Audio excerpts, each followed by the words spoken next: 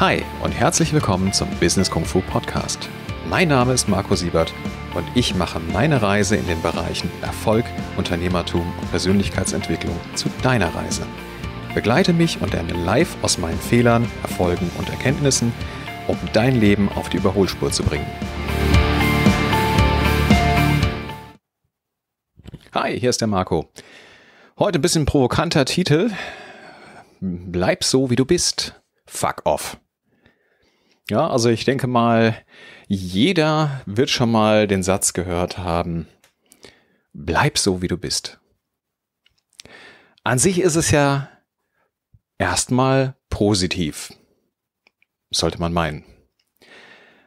Aber im Grunde ist es ja so, wir entwickeln uns ständig weiter, zumindest sollte das so sein.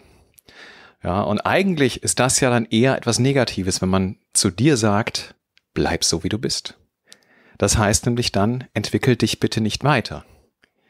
Das heißt dann, bleib so, wie ich dich kennengelernt habe oder wie ich dich jetzt momentan mag. Denn wenn du dich veränderst, dann ändert sich eben auch diese Beziehung. Ja, und dann kann es eben gut sein, dass man miteinander eben nicht mehr so klarkommt. Wer kennt das denn noch, jetzt außer mir, ähm, dass man Leute früher hatte, äh, mit dem man sich super verstanden hat. Waren so die besten Freunde, vielleicht so ein Kopf und ein Arsch.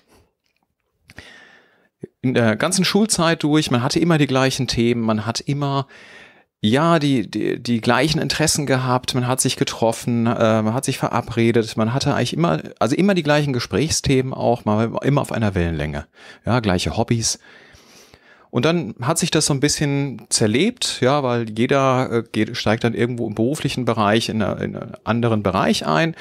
Manche Leute gehen studieren, äh, einige gehen ins Ausland für eine Weile, ja, andere sind in großen Firmen, machen Ausbildungen, wie auch immer, ja, ziehen auf jeden Fall weg.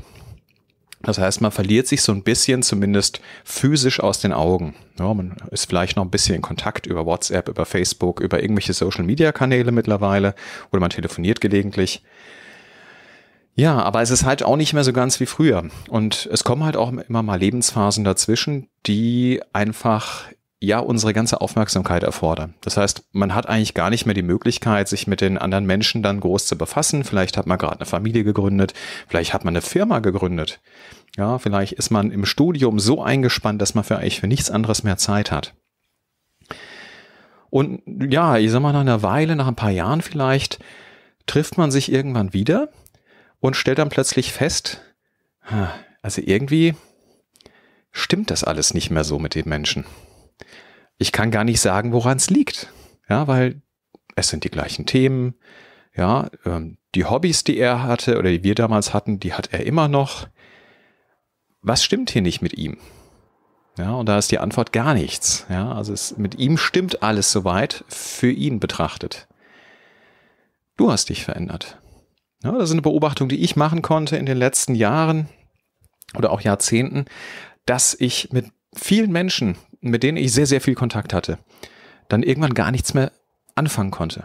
Ja, ich, ich bin Mensch, ich muss viel dazu lernen. Also ich habe viele äh, Seminare gemacht, viele zusätzliche Ausbildungen gemacht ähm, im Sportbereich, äh, eine ganze Menge Wissen angesammelt. Ähm, ich bin einfach ein sehr interessierter Mensch. Ja, und man denkt immer, ja gut, da hast du halt ein paar mehr Bücher im Schrank stehen, du hast ein paar mehr Ordner mit Unterlagen da stehen, aber ansonsten bist du ja der gleiche. Nee, absolut nicht. Überhaupt nicht. Ist nicht wahr. Auch wenn du es vielleicht nicht selbst wahrnimmst, du veränderst dich tagtäglich. Und dadurch, dass du ein Verhalten veränderst, ja, also du gehst nicht mehr so oft ins Kino in die gleichen Filme, du gehst nicht mehr zu denen, den Sportveranstaltungen, du guckst dir diese Sachen nicht mehr im Fernsehen an. Dadurch veränderst du dich innerlich immer weiter. Und irgendwann kommt das natürlich auch im Außen an, weil natürlich auch deine Interessen deine Glaubensmuster beeinflussen und deine Glaubensmuster beeinflussen natürlich auch deine Handlungen und deine Handlungen werden ja zu deinen Gewohnheiten. Das heißt, du entwickelst ganz andere Gewohnheiten, ganz andere Routinen und das machen im besten Fall die anderen Leute auch, aber das wird wahrscheinlich nicht die gleiche Richtung sein. Am erschreckendsten finde ich es eigentlich, wenn man sich dann nach Jahren, Jahrzehnten mit den Leuten trifft oder unterhält und man hat das Gefühl, die sind keinen Meter weitergekommen. Ja, die Ähm, die sind immer noch im gleichen Betrieb oder in, in der im äh, gleichen Bereich tätig. Die haben vielleicht mal die Firma gewechselt, ja, und die haben auch gar kein Interesse mehr, irgendwas anderes zu machen. Die möchten innerhalb der Firma vielleicht in der Hierarchie ein bisschen aufsteigen, ja, Abteilungsleiter werden, wobei viele wollen auch das nicht, weil es wäre Verantwortung und Druck. Ja, am besten einfach ein gut bezahlter Arbeitnehmer. Ist auch nichts gegen zu sagen. Aber ähm, ja, auf der einen Seite möchten sie häufig halt auch viel, ja, äh, im finanziellen Bereich erreichen, möchten glücklich werden, möchten, ja, ähm, ja, möchten einfach was erreichen. Auf der anderen Seite ist da die Bereitschaft nicht da, Dinge zu verändern, weil das ist außerhalb der Komfortzone. Und deshalb ist es natürlich auch so eine Gratwanderung immer, wenn man sich mit den Menschen dann auch wieder trifft. Ja, aber wenn man den Kontakt wieder intensiviert, du kennst bestimmt diese, dieser, äh, ist ein Leitspruch, der besagt, du bist immer das, der Durchschnitt der fünf Leute in deinem Leben, mit dem du am meisten Zeit verbringst, mit denen du am meisten Zeit verbringst. Da ist was dran. Ja, ob das jetzt wirklich fünf Leute sind, ob es zehn Leute sind, ob es drei Leute sind. Ja, das ist eben die Frage. Ich sag mal, die eigene Familie zähle ich da jetzt gar nicht so zu, sofern die nicht so einen extremen Einfluss hat in irgendeine bestimmte Richtung. Ja, ähm, weil die, die prägen ja immer mit, die sind ja sowieso immer da. Und ja, aber äh, zumindest was so die eigenen Bekannten und Freunde angeht, ja, oder Arbeitskollegen teilweise auch, ähm, das macht einen massiven Einfluss. Und deshalb ist es nicht unbedingt positiv, wenn man sich dann mit den Leuten, die auf einer Stufe stehen geblieben sind, dann so intensiv wieder auseinandersetzt. Ja, oder zusammensetzt. Ja, auseinander ist es ja in dem Fall nicht. Ja, deswegen denk, denk mal drüber nach. Wie ist das? Hast du Leute in deinem Umkreis, wo du im Nachhinein jetzt sagst, boah, also irgendwie ist der platter geworden. Ja, irgendwie ist die, ist die, weiß ich nicht, die ist noch so genauso komisch drauf wie früher. Ja, oder die ist noch komischer drauf als früher, wobei es vielleicht so ist, dass sie wirklich genauso ist wie vorher und du dich weiterentwickelt hast. Ja, ähm, ich stelle es immer wieder fest, auch wirklich, dass es schleichend über ein paar Monate manchmal einfach geht. Ja, also ich, daran merkst du auch, wenn du das Gefühl hast, dass innerhalb von wenigen Monaten du mit den Leuten nicht mehr klarkommst, dann liegt das häufig gar nicht mal so sehr an den Leuten, es sei denn, die haben halt selber einen schlechten Einfluss noch mit dabei, zum Beispiel neuen Partner, das gibt's auch immer mal. Aber dass du dann plötzlich für dich spürst, weiß ich nicht. Ah, also innerhalb von so kurzer Zeit, irgendwas stimmt doch da nicht mehr, ja. Und dann rezitierst du mal so ein bisschen für dich, reflektierst mal, was war denn bei dir in der letzten Zeit, in diesen Monaten? Und dann merkst du, okay, ich war auf drei Seminaren zur Persönlichkeitsentwicklung. Ich habe mir einen, einen, einen äh, Online-Kurs dazu äh, zum bestimmten Thema geholt, ja, habe mich da weitergebildet. Ähm, ich mache sowieso eine Fortbildung in dem, dem Bereich, ich habe die Seminare besucht, ich habe die und die, die, die Bücher gelesen, alle fand ich super spannend, habe die durchgearbeitet, ich habe Notizen gemacht, ich habe angefangen, Dinge umzusetzen. Ja, du hast massiv an dir gearbeitet, du hast dich verändert. Der andere verändert sich ja nicht mit oder die andere. Ja, im besten Falle wäre es natürlich super, wenn die das gleiche macht wie du in dem Moment, aber oder derjenige. Aber das passiert in der Regel nicht. Ja, ich weiß nicht, wie, wie du das siehst. Ja, bist du mit deinem Leben so weit zufrieden, dass du sagen kannst, ja, das ist es. Ja, ich brenne für das, was ich jetzt mache. Also im Bereich Beziehung, im Bereich Gesundheit, im Bereich Fitness, im Bereich Finanzen, im Bereich Selbstverwirklichung. Bist du so weit, dass du sagen kannst, ja, boah, das ist geil. Ja, oder bist jemand, der sagt, ja, gut, Arbeitswoche, Montag bis Freitag, das muss man halt mal durchhalten. Am Wochenende wird's ja wieder cool, dann macht man einen Ausflug. Ist ja ganz schön, da kann man sich auch mal erholen.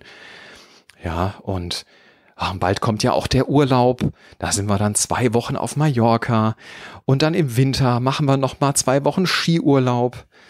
Ja, und ich meine, was will man auch sonst viel machen mit 1,5 Kindern? ja, also weißt du, worauf ich hinaus will?